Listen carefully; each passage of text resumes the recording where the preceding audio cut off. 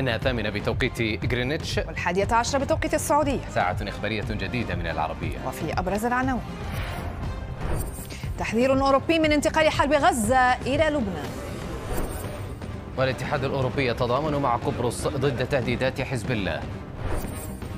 مقتل 15 شرطيا روسيا على الأقل في هجمات داغستان. وماكرون متمسك بالبقاء في منصبه حتى انتهاء ولايته.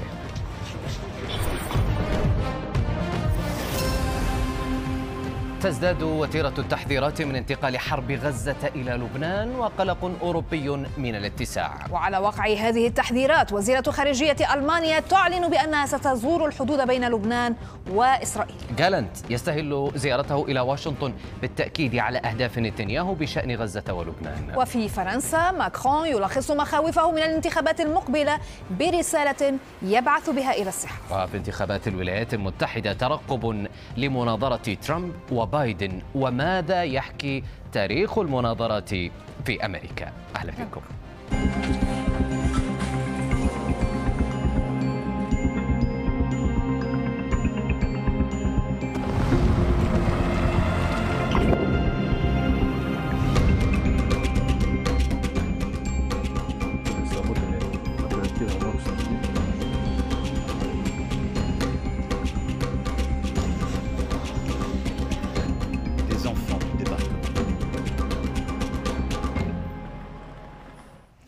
حذر مسؤول السياسة الخارجية بالاتحاد الأوروبي من أن الخطر يتزايد كل يوم من امتداد حرب غزة إلى لبنان. وقال قبل اجتماع لوزراء خارجية دول الاتحاد الأوروبي إن الشرق الأوسط بات على شفا اتساع الحرب. وبشأن غزة أضاف بوريل أن الوضع في القطاع لم يتحسن على الإطلاق وأن إدخال المساعدات بات شبه مستحيل.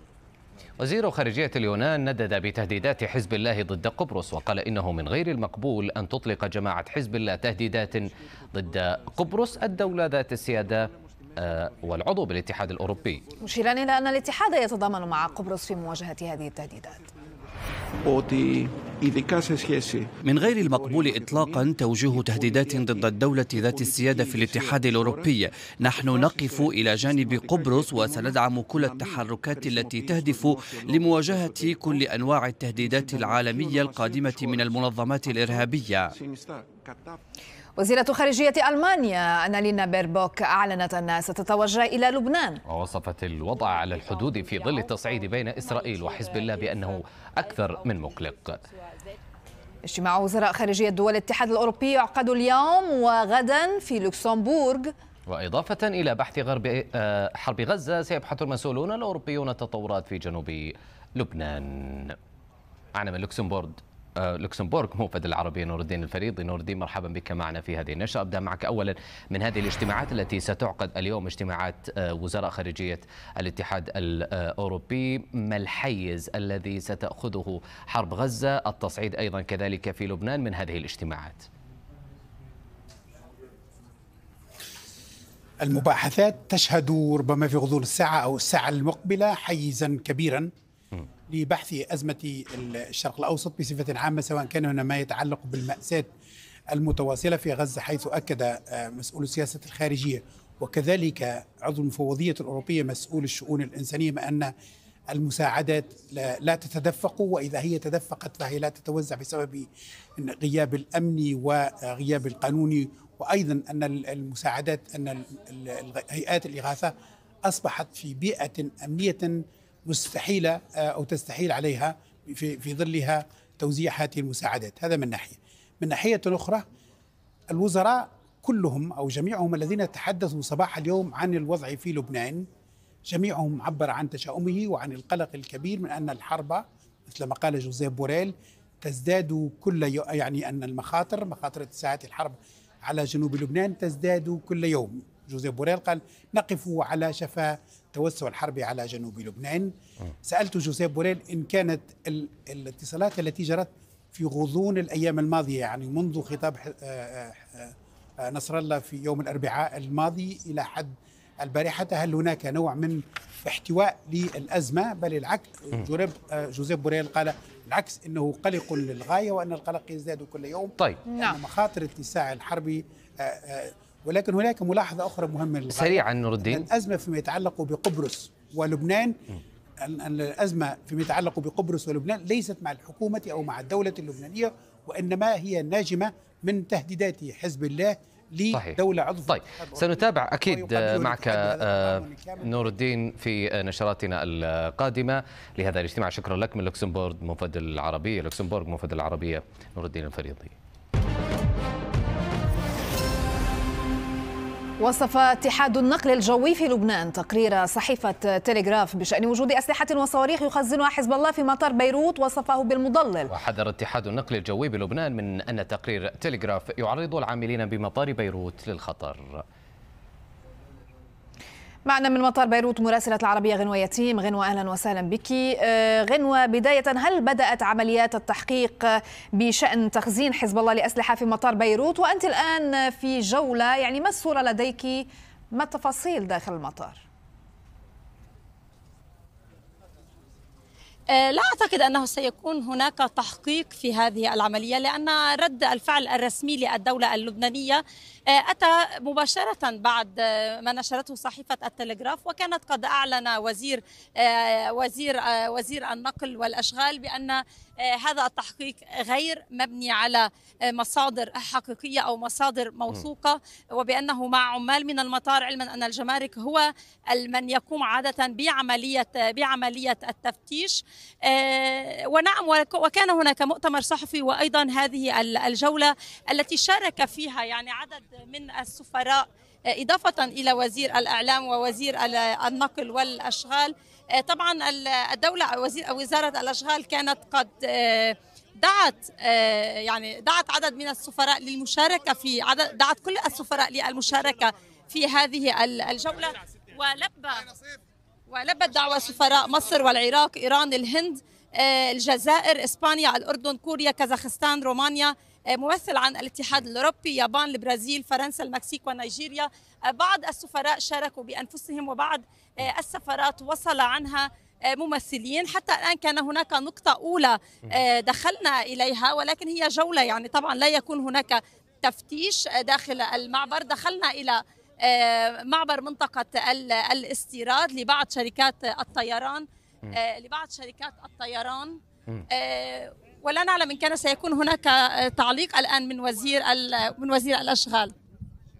طيب يعني هذه آه، الزيارة نحن آه، ننتظر ربما تصريحات هنا من وزير الأشغال آه، اللبناني الموجود في هذه الجولة آه، بالقرب من الزميلة آه، غنوة يتيم.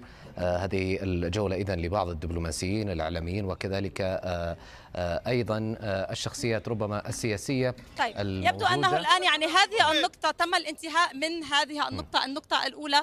آه، يتم لكن لكن غنوة حتى نفهم يعني؟ هل هذه. هل هذه باصات للنقل والسفراء عبر سيارات للتنقل في أكثر من. آه، نقطة داخل مطار آه، رفيق الحريري الدولي. طبعا هناك مشاركة لعدد كبير من من الصحافة التي آه، يعني اتت للمشاركه في هذه الجولة خاصة وأن موضوع التلغراف يوم أمس كان قد آه، سبب ردود فعل كبيرة في لبنان وسط تخوف من أن يكون هذا المقال آه، كأنه تبرير آه، لإستهداف مطار بيروت كمرفق حيوي في أي حرب مقبلة طيب. وموسعة بين يبدو أن كل الصحفيين الموجودين آه، أيضا آه، لديك آه، يعني ينتقلون إلى نقطة آه، آه، أخرى وربما لجولة أيضا آه، كذلك آه، أوسع آه، لا أعلم يعني إن كن- إن كنت على عجل من أمرك فبإمكانك طبعا آه، الذهاب آه، غنوة آه، وإلا فالسؤال عن هذه ال- ال- الجولة يعني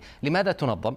آه، عرفنا أن هناك شخصيات دبلوماسية سياسية إعلامية أيضا. هل هي للتأكد من أن المطار خالي تماما من كل آه، ما كتب في هذا المقال في التلغراف والذي أخذ حيزا واسعا؟ ربما أمس من آه، يعني ال- الاهتمام.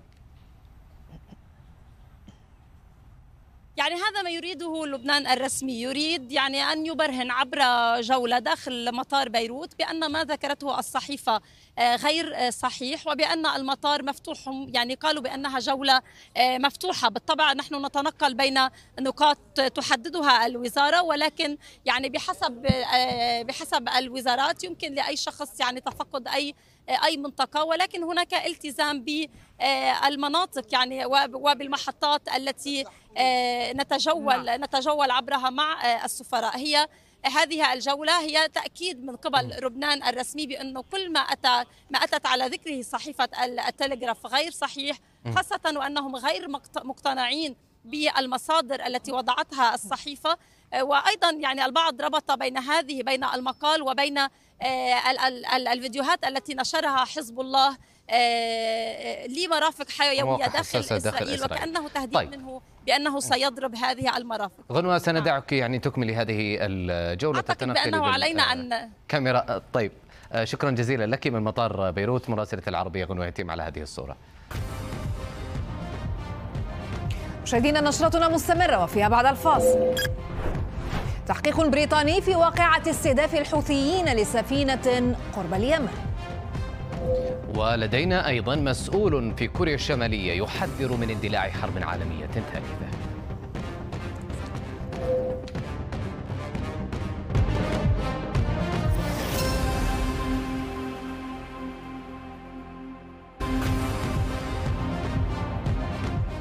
مشاهدينا نرحب بكم من جديد. قال وزير الدفاع الإسرائيلي يوآف جالنت إن إسرائيل ستعمل على إعادة المحتجزين في قطاع غزة إلى إسرائيل. كما أكد خلال لقائه بالسيناتور الجمهوري لينزي جراهام في واشنطن على مواصلة تفكيك قدرات حماس في القطاع.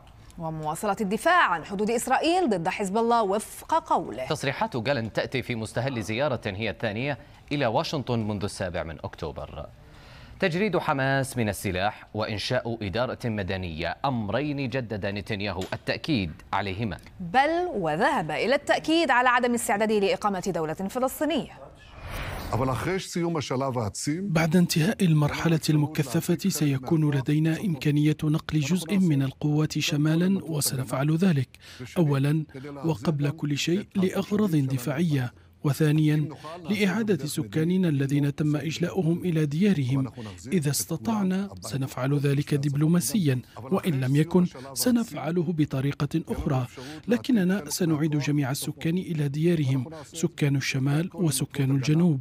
إذا كان هناك اتفاق فسيكون وفقا لشروطنا وهي عدم إنهاء الحرب ومغادرة غزة وترك حماس كما هي. في النهاية سيتعين علينا القيام بأمرين حيث سنحتاج إلى استمرار عملية تجريد حماس من السلاح من قبل قوات الدفاع الإسرائيلية كما سنحتاج إلى إنشاء إدارة مدنية. وآمل أنه بدعم وإدارة بعض الدول في المنطقة سأتمكن من فعل ذلك. أعتقد أن هذه هي الطريقة الصحيحة للمضي قدما. لست مستعدا لإقامة دولة فلسطينية ولست مستعدا لتسليمها إلى السلطة الفلسطينية. ميدانيا صحيفة يدعو تحرنوت الإسرائيلية ذكرت أن الجيش الإسرائيلي أنهى معظم العمليات البرية في رفح. أوضحت الصحيفة عن مصادر أن المسؤولين حددوا هدف ضرب 60% من قوة حماس برفح وإتمام المهمة في الأشهر القادمة. هيئة البث الإسرائيلية من جهتها قالت إن الحكومة الإسرائيلية تستعد لإنشاء ما وصفته بخط دفاع ضد نتنياهو ووزير الدفاع جالنت في حال قررت المحكمة الجنائية الدولية في لاهاي إصدار أوامر اعتقال ضدهم. أضافت الهيئة نقلا عن مسؤولين إسرائيليين أن الحكومة الإسرائيلية ستكون جاهزة للرد على قرارات الجنائية الدولية. قال الجيش الإسرائيلي نغرة جوية شنها في قطاع غزة الليلة الماضية أسفرت عن مقتل قيادي في حماس كان مسؤولا عن تطوير أسلحة استراتيجية لحماس ويدعى محمد صلاح.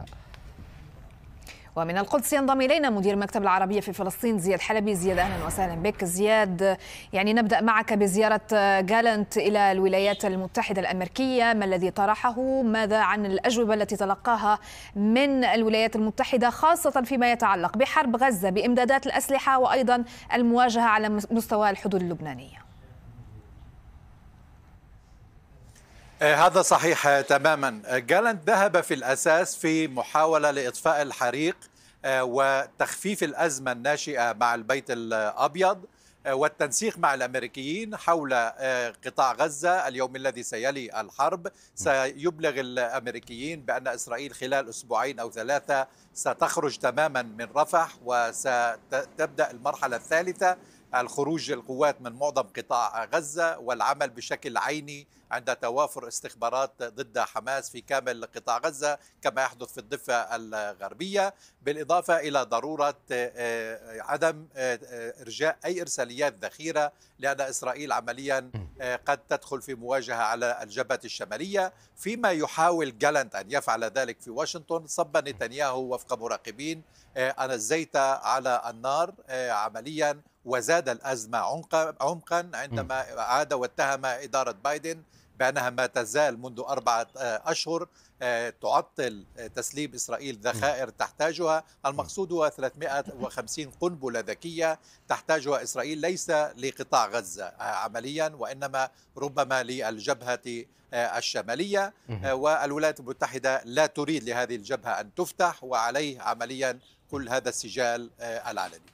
تصريحات كثيرة لنتنياهو آه، زياد يعني فيما يتعلق بغزة. والحديث أيضا كذلك عن ربما إنهاء عملية آه، آه، رفح ما المقصود هنا بإنهاء هذه العملية؟ هل نتحدث عن سحب للقوات الإسرائيلية من هذه المناطق أم تخفيف الضغط والدخول في المرحلة الثالثة كما قال جالنت أمس بإستهدافات نوعية وخاصة ربما لكن دون وجود عسكري كثيف؟ هذا ما قلته قبل قليل بالفعل هو هذا المخطط الآن الانتقال إلى ما يسمى المرحلة الثالثة الخروج تقريبا من كامل آه، قطاع غزة ربما البقاء في محور فيلادلفي وفي آه، مناطق محددة وشن هجمات على أساس يومي ضد آه، حماس في كامل قطاع غزة ليس في رفح. مشكلة الإسرائيليون وهم يقرون بذلك الجيش الإسرائيلي أقر بذلك بشكل علني بأن حماس عمليا في كل المناطق التي خرجت منها إسرائيل آه، أعادت تنظيم صفوفها بشكل أو بآخر وتواصل القتال آه، وإصابة وقتل جنود وبالتالي هذا سيستمر. لهذا يتحدثون في إسرائيل عن أن المرحلة الثالثة قد تستغرق سنة وأكثر. عمليا لأن القضاء على إمكانات حماس العسكرية بالشكل الذي أعلنه نتنياهو لا يبدو في الأفق الآن. نعم. ولهذا ذهب إلى القناة الرابعة عشر الإسرائيلية آه، وخاطب اليمين الإسرائيلي آه، لأنه يريد أن يقول بأن الحرب لم تنتهي. في كل جملتين الجملة الثالثة الحرب لن تنتهي آه، لأن عمليا هناك ضغط عليه من بنكفير ووزراء آخرين. بالإضافة إلى أن المراقبين يرون بأن نهاية الحرب بالنسبة لنتنياهو جنوبا أو شمالا قد تكون نهايته السياسي. أه، طيب زياد يعني القناة الثانية عشرة الإسرائيلية كانت أه، قد قالت بأن إسرائيل بعثت رسالة إلى البيت الأبيض وقالت فيها بأنها ستستخدم أسلحة أه، لم تستخدمها من قبل مطلقا دون أن تحدد طبيعتها في حال اندلعت مواجهة مباشرة مع حزب الله. لكن يعني هل هناك أي تفاصيل إلى حدود الآن بخصوص هذه الأسلحة؟ هل هي أسلحة أمريكية وتسعى للحصول على موافقة باستعمالها؟ يعني ربما خلال هذه الزيارة التي يقوم بها آه، جالنت إلى الولايات المتحدة أم ماذا عن مصدرها وطبيعتها؟ آه، هذه التسريبات هي جزء من عملية آه، التهديد المتبادل مع حزب الله. وعمليا إسرائيل ليست بحاجة أن تقول للولايات المتحدة بأنها ستستخدم ذخائر لم تستخدمها من قبل، كل الأسلحة الإسرائيلية آه، معظمها أمريكي وما تملكه إسرائيل يعرفه الأمريكيون. آه، إسرائيل لا تحتاج أن تقول ذلك للبيت الأبيض. آه، إسرائيل كما قلت محتجة على أن الولايات المتحدة تحجب 350 قنبلة ذكية، إسرائيل تحتاج القنابل الذكية أساسا لمحاولة تدمير أنفاق حزب الله وهي لا تقارن بأنفاق غزة. على فكرة، غزة أرض رملية عمليا جنوب لبنان أرض صخرية. صحيح. وبالتالي الأنفاق هناك تختلف كليا عن أنفاق قطاع غزة. آه، تريد أن يكون لها هذه الذخائر طيب. كل هذا الكلام لا يعني بأن الحرب قريبة كما يقال. حاليا الجيش الإسرائيلي يقول بأنه م. ليس جاهزا بعد شكرا لك. من القدس انضم إلينا مدير مكتب العربية في فلسطين زياد حلبي. تعقد اللجنة التنفيذية لمنظمة التحرير الفلسطينية اجتماعا اليوم في رام الله. الاجتماع سيرأسه الرئيس الفلسطيني محمود عباس ويبحث التطورات السياسية وسياسات التوسع الاستيطاني الإسرائيلي هذا الاجتماع هو الأول منذ عدة شهور بعد مصادقة إسرائيل على خطة تهدف إلى ضم غير معلن للضفة الغربية ببناء بؤر استيطانية جديدة فضلا عن احتجاز ومصادرة أموال السلطة الفلسطينية. وكان رئيس الوزراء الفلسطيني محمد مصطفى قد تعهد بمواجهة مشروع سموتريتش للاستيطان في الضفة الغربية.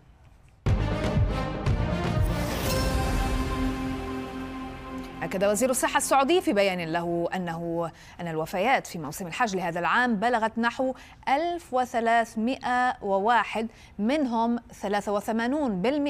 من من الحجاج بدون تصريح. مشيرا آه، إلى أنه تم حصر جميع البلاغات والتواصل مع ذوي المتوفين والتعرف عليهم. أوضح وزير الصحة السعودي أنه تمت الإجراءات اللازمة للتعرف على هوية المتوفين وإصدار شهادات الوفاة ودفنهم وإكرامهم في مكة.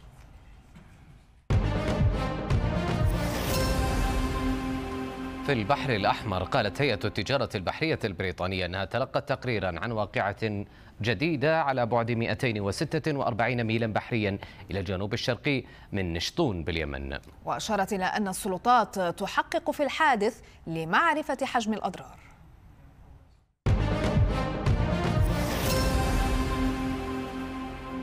أعلنت لجنة مكافحة الإرهاب في روسيا انتهاء العمليات في مدينتي محج قلعة وديربند بجمهورية داغستان الروسية وقالت إن عدد القتلى في الهجمات ارتفع إلى 19 شخصا بينهم أربعة مدنيين و15 من أفراد الشرطة بالإضافة إلى إصابة العشرات. وأكدت اللجنة تحديد هوية منفذي الهجمات. ينضم إلينا من موسكو مدير مكتب العربية في موسكو عبد الجواد الرشد. عبد الجواد مرحبا بك معنا. الحديث الآن عن ارتفاع أعداد القتلى إلى 19 حسب بعض وسائل الإعلام الروسية التي نقلت هذه الأنباء قبل قليل. لكن يعني نحن نريد العودة قليلا عبد الجواد لتفاصيل أبرز التفاصيل في ما حدث يوم أمس.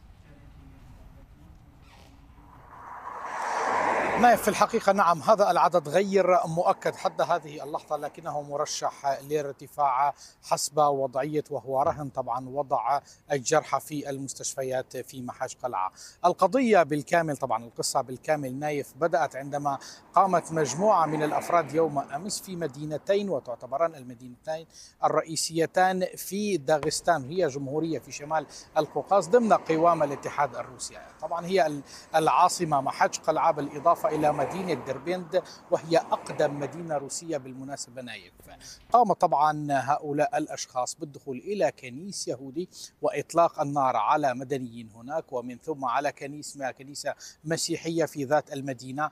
بينما قام أفراد متعاونون معهم حسب البيانات وحسب التحقيقات ظهر بأن كانت لهم مجموعة على تيليجرام لم تعرف تفاصيلها حتى هذه اللحظة لكنها كانت تضم ستة أشخاص على ما يبدو أنها ليست المجموعة. بالكامل قاموا في مدينة محش قلعة أيضا بإطلاق النار على كنيسة مسيحية ونقطة للشرطة شرطة المرور وفي نقاط أخرى خارج المدينة.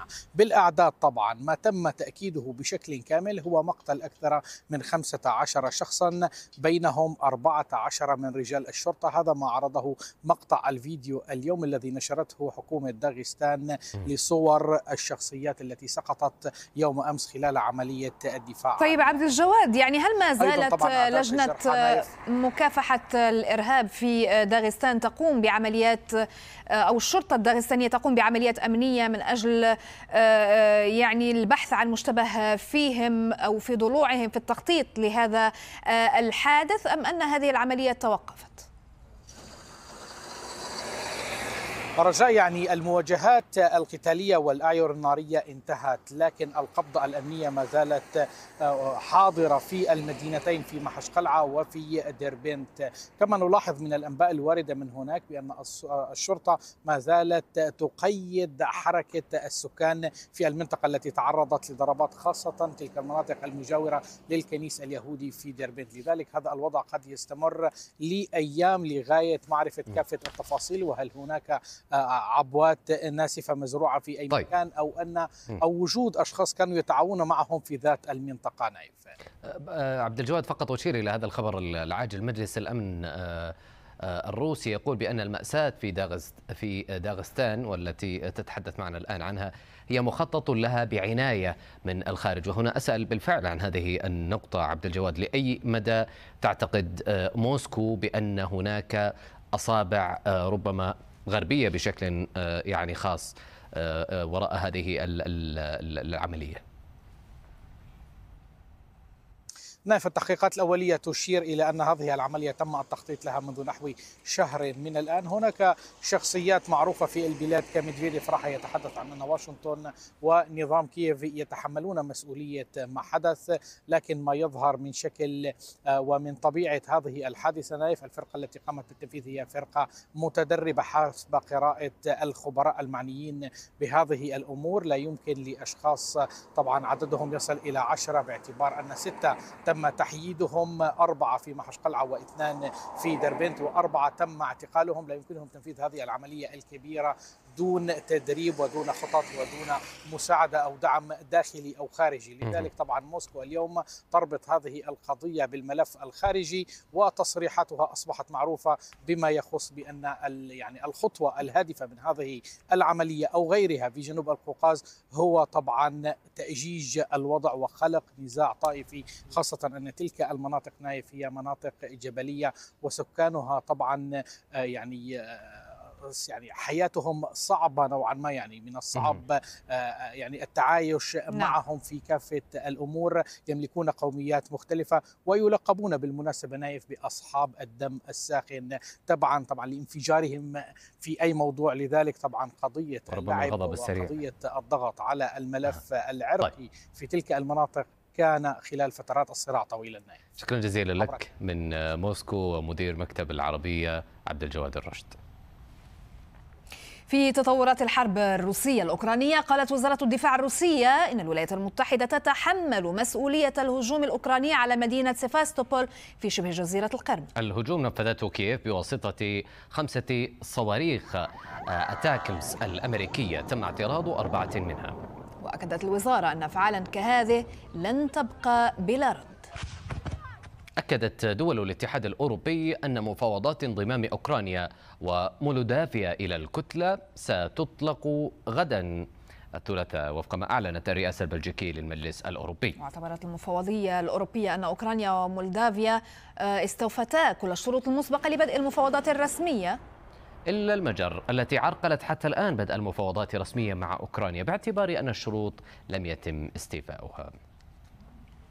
أعلن مسؤول السياسة الخارجية في الاتحاد الأوروبي جوزيف بوريل أن الاتحاد الأوروبي طور آلية تسمح بتجاوز حق النقد المجري على شراء الأسلحة لكييف باستخدام الدخل من الأصول المجمدة الروسية.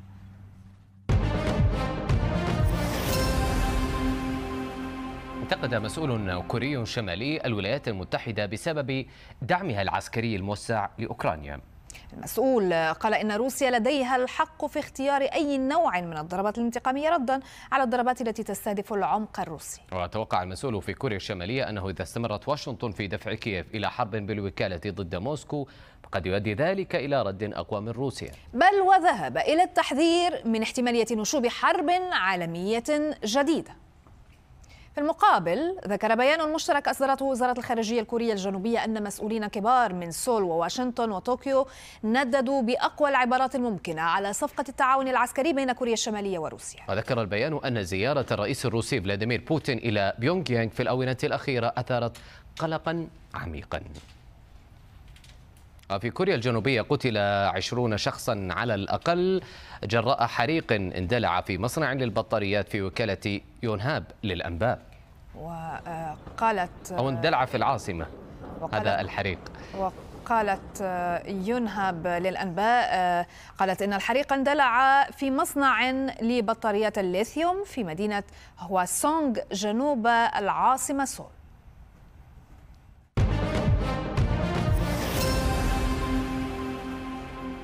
الحريق كان في سول لم يكن طبعا في وكالة آه، يونهاب الكورية الجنوبية. إذا قال رئيس تايوان لاي تشي تي لاي تشينغ تي إنه ليس لدى الصين الحق في معاقبة شعب تايوان على آرائهم أو دفاعهم. بعد أن حذرت بكين رجاء من أن مؤيدي استقلال الجزيرة قد يواجهون عقوبة بالإعدام. أريد أن أؤكد أن الديمقراطية ليست مصدر الجريمة. الحكم الاستبدادي هو الجريمة. ليس لدى الصين الحق في متابعة الملاحقة القضائية عبر الحدود ضد الشعب التايواني. نشرتنا مستمرة فيها بعد الفاصل أيضا. ترامب على يسار الشاشة بايدن على يمينها في المناظرة التلفزيونية المرتقبة. ولدينا أيضا. رجال الإطفاء في اليونان يخمدون حريقا اتهم بإشعاله بالعمد 13 سائح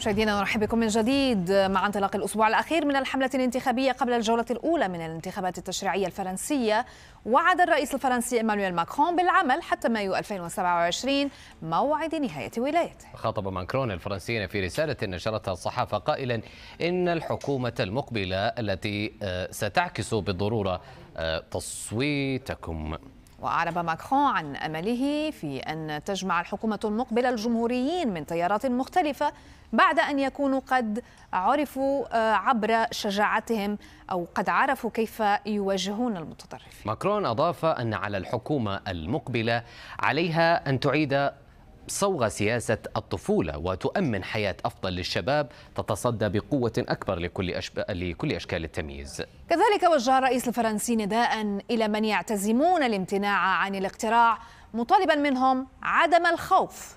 بل وخاطبهم بالقول لا تستسلموا أدلوا بأصواتكم.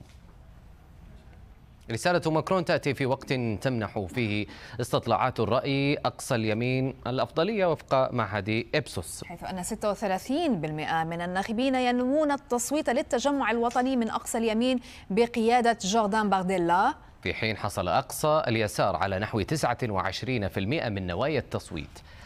والمعسكر الرئاسي تحصل على 20% من نوايا التصويت وفق الاستطلاعات التي تتغير باستمرار. Mais ces choix sont à faire maintenant.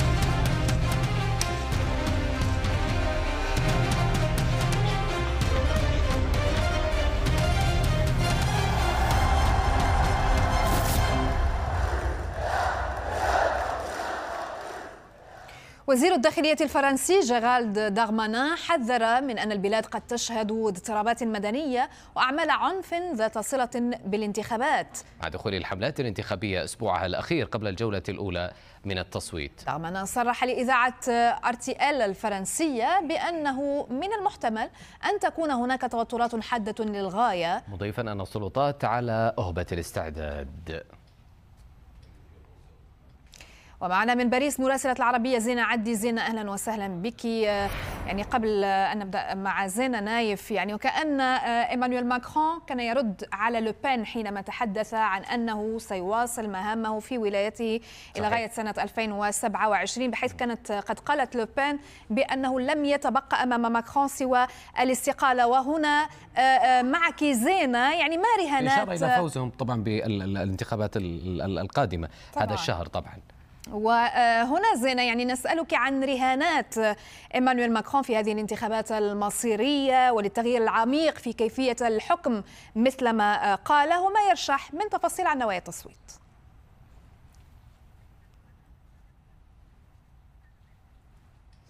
نعم آه، في الواقع تفصلنا ستة أيام فقط عن موعد الانتخابات التشريعية آه، هنا في فرنسا. آه، جميع الفرقاء السياسيين أو مرشحي الأحزاب هم على هذه يعني الاحتدام بالمعركة الانتخابية. جميع التصريحات تأتي ردا على بعضها. هناك حرب غير معلنة بين هؤلاء الأطراف. مارين لوبين قامت قالت بأن الرئيس ماكرون عليه أن يستقيل وقالت بأنها لا تطلب ذلك لكن هذا من المفترض أن يحدث بشكل غير مباشر. دعته إلى الاستقالة. الرئيس ماكرون من طرفه قال بأنه لن يتخلى عن الحكم حتى 2027 وهو قد يكون ردا على ما قالته مارين لوبين. إذا هناك تصريحات من جميع الأطراف السياسية هنا في فرنسا. في الواقع الرئيس ماكرون يعتمد في حملته الانتخابية على تخويف الناس من التطرف تخويفهم من المعسكر اليميني وأيضا المعسكر اليساري. أما أقصى حزب أقصى اليمين يعمل على تخويف الناس من المعسكر اليساري ويعتبره بأنه أيضا متطرف وبأنه سيقود البلاد إلى الفوضى. أما من جانب تصريحات زعيم زعيم أقصى اليسار ميلانشون يقول بأنه أيضا الرئيس الفرنسي دعا إلى حل البرلمان من أجل أن يأتي من أقصى اليمين ولكي يواجهوهم هم الاثنان ضد أقصى اليسار. لذلك هناك الكثير من التصريحات من مختلف الأحزاب هي تصريحات نارية ضد بعضهم يحاولون جذب أكبر عدد من الأصوات من أصوات لكن يعني زينة يعني ماذا عن تحالف الجبهة الشعبية إلى حدود الآن؟ يعني وقدرته على استقطاب المزيد من الأصوات في ظل يعني ما يقوم به يعني اليوم اليمين أو أقصى اليمين من انخراط يعني في جعل الناس لا يصوتون من جديد على أحزاب اليسارية.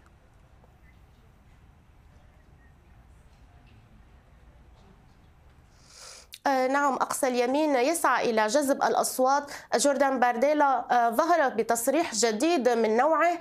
تحدث بأنه سيكون إن وصل إلى رئاسة الوزراء سيكون رئيس للأغلبية وبأنه يريد أن يكون أن يمثل الشعب الفرنسي بكامل أقطابه بأنه لن يستثني أحدا بما معنى بأن حتى الذين لن يصوتوا له سيكون سيعمل على العمل من أجله. أيضا لذلك تغير إلى حد ما خطاب أقصى اليمين هو يحاول جذب جميع الفئات من المجتمع ليس فقط الفئة التي كانت تؤيده كالمعتاد وتؤيد رؤيته بشأن معاداته للمهاجرين ويحاول طمأنة الآخرين أيضا ويريد وقال جوردان لكن ماذا عن اليسار زينه؟ لن يقبل بأن يستلم منصب رئيس الوزراء في حال لم يحصل حزبه على الأغلبية المطلقة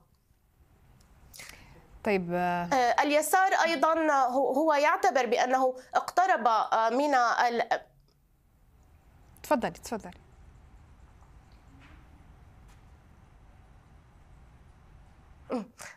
عذرا. اليسار أيضا يعتبر بأن المعركة مع اليمين المتطرف أو أقصى اليمين لذلك يوجه خطابه بشكل دائم ضد هذه هذا الحزب وهو يعمل على جذب الأصوات بأن هذا الحزب هو حزب متطرف سيقود البلاد إلى الخراب لذلك أقصى اليسار يريد ان أن يجعل من من صوته هذه المرة هو الأقوى. نعم. أيضا لأنه يرى بأن حزب ماكرون معسكر ماكرون يتراجع بشكل كبير وهو يعتبر بأن له حظوظ كبيرة في حصد الأصوات بشكل أكبر خاصة في الدورة الثانية من الانتخابات التشريعية. أشكرك جزيلا على كل هذه المعطيات. كنت معنا من باريس مراسلة العربية زينة عدي شكرا جزيلا لك. عطش حر وجوع. مآس يواجهها المهجرون غير النظاميين في رحلة العبور من المكسيك ودول أمريكا اللاتينية صوب أمريكا. إذا نايف يعني ماذا عن تفاصيل هذه الرحلات؟ رحلات رجاء يمكن وصفها يمكن وصفها بالخطيرة يواجه فيها المهاجرون غير النظاميين في طريقهم نحو أمريكا شبح الموت عطشا أو جوعا في رحلة العبور الجزء الأكبر من المهاجرين هم من أمريكا من أمريكا اللاتينية أو منطقة البحر الكاريبي تحديدا فنزويلا بالإضافة كذلك إلى هندوراس والإكوادور و هايتي البعض قطع عشرات الكيلومترات. هنا رحلة العبور مشاهدينا. باللون الأحمر تشمل قطع غابة دارين الخطيرة على الحدود بين كولومبيا وبنما. بالإضافة أيضا إلى أن قبل الوصول آه، يكون هناك جدار حدودي بين المكسيك وأمريكا. تضاريس وعرة وغياب للأمن والقفز كذلك أيضا من فوق الجدار الحدودي من أسباب الوفيات ولكن هناك عامل آخر إنه الحر الشديد. وجراء ارتفاع الحرارة الحكومة المكسيكية أعلنت عن نحو 1550 وفاة 30 آه، منها سجلت خلال الأسبوع الماضي. رغم هذه الأسباب حوالي مليون وثلاثمائة مليون ألف مهاجر غير نظامي عبروا المنطقة إلى الولايات المتحدة هذا العام. إذا آه، رجاء كما آه، تابعنا. الحر الشديد ليس فقط في الولايات المتحدة الأمريكية بل يضرب الغالبية غالبية أصقاع العالم هذه الفترة.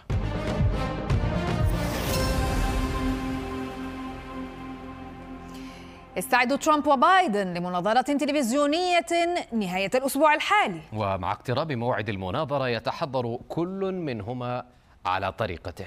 ترامب بين الناخبين. وبايدن يقيم مع مساعديه في كام ديفيد. المناظرة ستستمر لمدة 90 دقيقة. وبعد قرعة بعملة معدنية.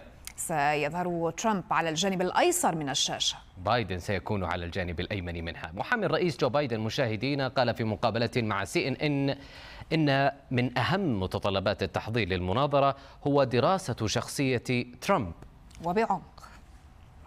This is ما يجب عليك فعله في جولة التحضير للمناظرة هو أن تنغمس فيما قاله المرشح المنافس في حججه وأسلوبه وحتى في النبرة التي استخدمها وذلك لمحاكاة نفس التجربة للمرشح الذي تساعده. وهذا ما فعلته. لقد درست بعمق كامل تصريحات دونالد ترامب سواء تلك التي أدلى بها في المناظرات أو المقابلات أو الخطب. من أجل تقمص شخصيته بأفضل شكل ممكن. هنا يبرز سؤال نايف. يعني هل يمكن لهذه المناظرة فعلا أن تغير من نتيجة الانتخابات؟ رجاء التاريخ يقول بأن هذا الأمر حدث بالفعل ثلاث مرات. وقتها طبعا أجريت الانتخابات في غضون أيام أو أسابيع يعني عام 1960 كان هناك مناظرة شهيرة جدا بين جون كينيدي وريتشارد نيكسون. معظم من شاهدوا هذه المناظرة مالوا إلى كينيدي وقد فاز طبعا بالفعل كينيدي بهذه الانتخابات. بفارق ربما ضئيل للغاية. لكن هل سيتكرر الأمر هذه المرة؟ يعني ننتظر مفاجآت طبعا خلال هذه المرة. وأيضا يعني عام 1976 بين جيمي كارتر وجيرالد فورد. آه، كارتر كان قد جعل فورد ينكر, ينكر وجود هيمنة سوفيتية على أوروبا الشرقية وكان قد أدى هذا آه، إلى نفور الناخبين في الولايات المتأرجحة من أصل آه، بولندي وأيضا تشيكي لتكون لحظة حاسمة حاسمة فاز بعدها كارتر في الانتخابات. هذه المناظرة ستكون مختلفة تماما. نحن نتحدث عن التاريخ اليوم نتحدث عن الحاضر يراهن دونالد ترامب على آه، ربما ضعف القدرات المعرفية والعقلية كما يقول أيضا للرئيس آه، آه، الحالي جو بايدن. بايدن أيضا يراهن على مسألة قضائية بالنسبة لترامب بأنه مجرم سينعته بالطبع أكيد بهذه الصفة في هذه و... المناظرة التي من المتوقع أن تأخذ ربما حيزا من الجوانب آه، الشخصية والحرب الشخصية بين الطرفين. الحديث ليس عن حملة انتخابية أو برنامج انتخابي بل هي آه، يعني مناظرة يعني شخصية. وهذا هو الإشكال هو أنه أن يكون التصويت بشكل أكبر تصويتا عاطفيا أكثر منه تصويتا على برامج انتخابية. هذه لعبة ترامب وبايدن. إذا مشاهدينا آه، في آه، الانتخابات الأمريكية يعني نبقى أو المرشح الجمهوري دونالد ترامب يقطع مزيدا من الوعود على نفسه في حال فوزه. كان آخر هذه الوعود مغازلة الإنجيليين المحافظين. حيث وعدهم بحماية دينية مشددة في محاولة لجذب المزيد من المؤيدين. رجال الشرطة وهنا يلتقي بفتى حاول تقليده ويوقع له أيضا على ورقة نقدية يواصل دونالد ترامب جهودا حثيثة لكسب مزيد من المؤيدين. في مؤتمر ديني في واشنطن تعهد بحماية شديدة للحريات الدينية للإنجيليين المحافظين وأيدهم في قضية حظر الإجهاض التي يطالبون بها. كما تعلمون الإنجيليون والمسيحيون لا يصوتون بالقدر الذي ينبغي لهم. علينا أن نتأكد من أنهم سيصوتون هذه المرة. كل ما علي فعله عند فوزه هو حماية الحرية الدينية بشدة. لا داعي للقلق بشأن ذلك.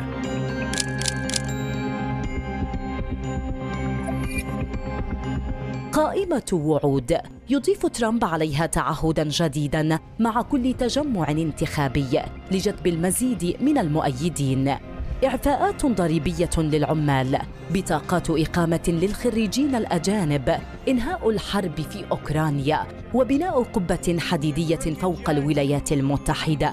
بعض الأمريكيين يشككون في قدرة ترامب على الوفاء بها وآخرون يرون أنه يتلقى دعما كبيرا وكثير من المواطنين واثقون بوعوده. مستشهدين بأن فترته الرئاسية كانت أكثر هدوءا وهو الأمر الذي يذكر به المرشح الجمهوري مرارا. التضخم مستعر والجريمة خارجة عن السيطرة. أوروبا في حالة من الفوضى والشرق الأوسط ينفجر وإيران تزداد جرأة والصين تتقدم. وهذا الرئيس المحتال يجرنا نحو الحرب العالمية الثالثة. انظروا إلى كل خطوة يقوم بها منذ أن صار رئيساً.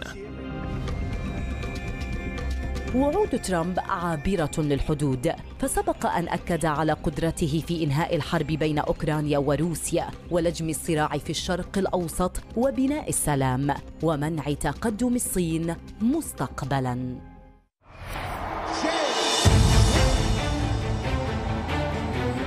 Donald Trump was given every opportunity to defend himself, a state case, not a federal case. After careful deliberation, the jury reached a unanimous verdict. They found Donald Trump guilty on all 34 felony counts. Inflation is raging, crime is out of control, Europe is in chaos, the Middle East is exploding, Iran is emboldened, China is on the march, and this horrible, horrible president is dragging us toward World War III.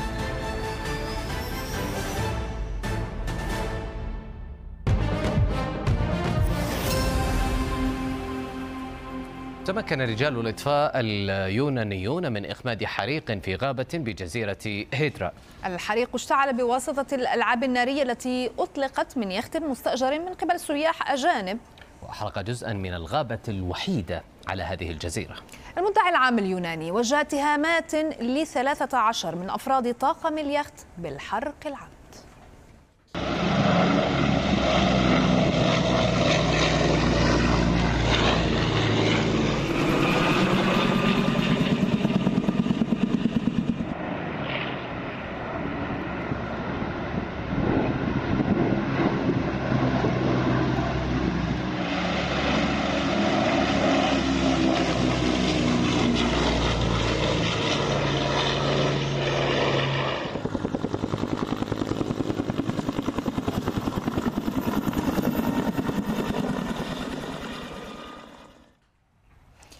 تستعد العديد من شركات الإعلانات بوضع خطط بديلة في حال تم حظر تطبيق تيك توك المملوكة لشركة بايت دانس الصينية في الولايات المتحدة. هذا بحسب ما قاله أحد المسؤولين التنفيذيين في مجال الإعلانات لصحيفة فاينانشال تايمز وحقق تيك توك مبيعات بقيمة 16 مليار دولار في الولايات المتحدة العام الماضي. معظمها بالتأكيد رجاء من الإعلانات. ومن مبالغ الإعلانات الهائلة جدا في هذه التطبيقات. نصل إلى نهاية هذه النشرة. شكرا لكم على كرم ولطف المتابعة. شكرا رجاء. شكرا لك نايف. نشكركم مشاهدينا. نعود نلقاكم غدا. إلى اللقاء. برعاية الله.